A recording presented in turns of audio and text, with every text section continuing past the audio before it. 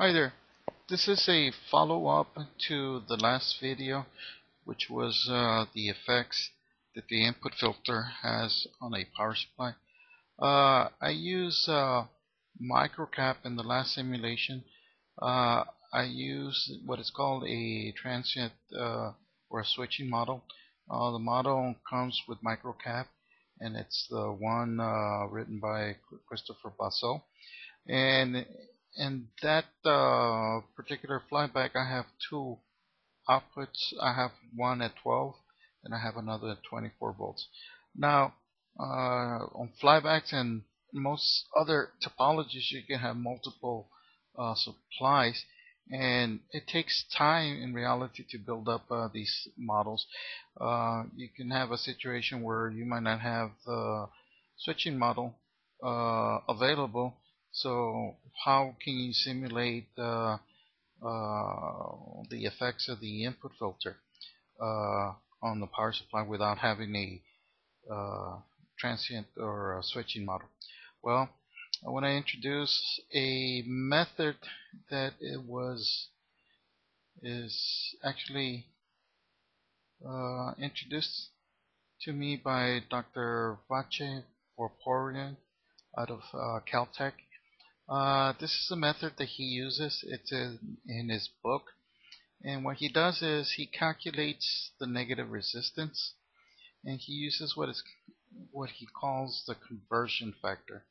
The conversion factor is basically the output voltage and the input voltage. So in our example, uh, our input voltage is 28 volts.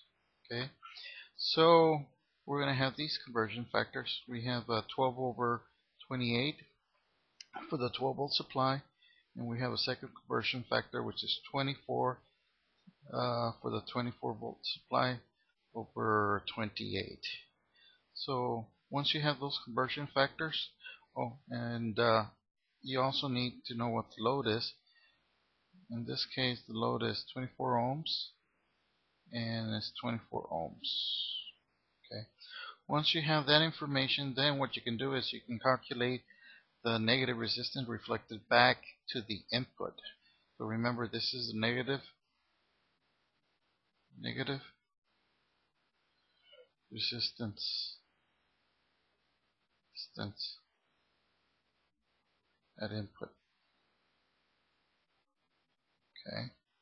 So when you do the math, uh, the 12 volt supply actually reflects 130 ohms and when you do the math on the 24 it reflects a 32.6 so what you do is you put them in parallel okay?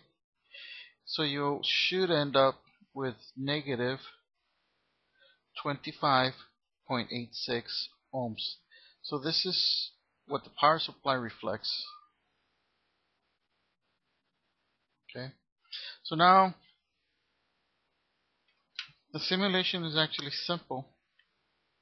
Instead of using all of this, okay, what you do is you put your input filter, which is a copy, and it's basically a copy of this, uh, what I have here on the switching model. I use it here, and the the the model is so simple that uh, all you have to do is just add a resistor. In this case, instead of putting 25.6, you can actually put a negative. So you add a negative 25.6. And then what you do is you put a step response and then you watch it. And in this case, if you notice here, I have a 1T, meaning that it's a 1 tera ohm, and I have a 1 tera ohm on both. So what I want to do is I want to uh, I want to compare this uh, input voltage at this node versus the input voltage at this node and they should uh, react the same or similar. So when we run it this is the output and this is the input. So this is the input or the voltage that we're looking at or interested.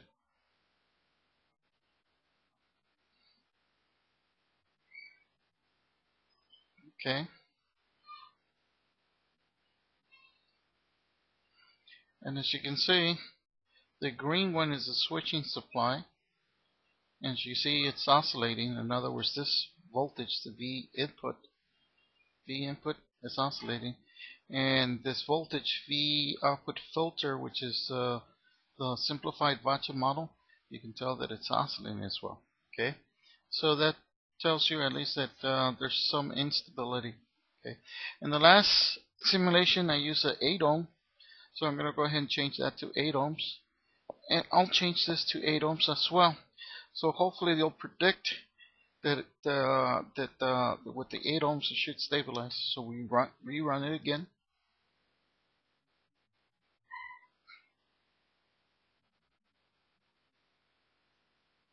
And if you notice, it uh, they're not exact, but they're very, very close in agreement. As you can tell, the green one is the switching model. Okay. And it's got one, two, maybe three rings. And the red one is the Vatche model. And it's got one, two, about three rings too. Now this 8 ohms that I use is not the optimal. I can go ahead and lower that to 4 ohms. So I'll lower that to 4 ohms on both. Okay, rerun it.